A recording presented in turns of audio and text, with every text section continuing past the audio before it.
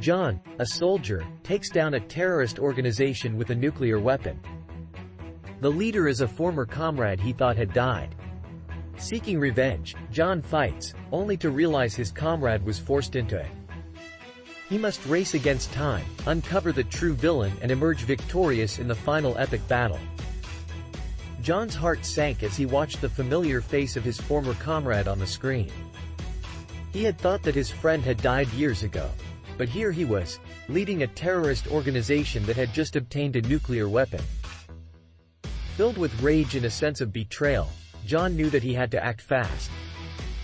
He gathered his team of soldiers and set out to take down the organization before they could use the weapon. As they fought their way through the enemy's stronghold, John finally came face to face with his former comrade.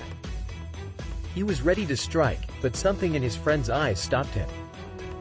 It was then that John learned the truth. His comrade had been kidnapped and brainwashed by the real villain, a shadowy figure who had been manipulating the terrorist organization from behind the scenes.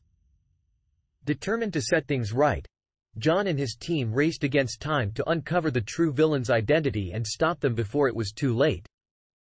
The final battle was epic, with explosions and gunfire ringing out as John and his team fought their way through the villain's heavily fortified base. But in the end, they emerged victorious, the nuclear weapon safely disarmed and the villain brought to justice. As John stood among the wreckage, his former comrade at his side, he knew that he could never fully make up for the pain and suffering he had caused. But he was determined to try, to help his friend heal and to make sure that no one else would ever fall victim to the villain's schemes again.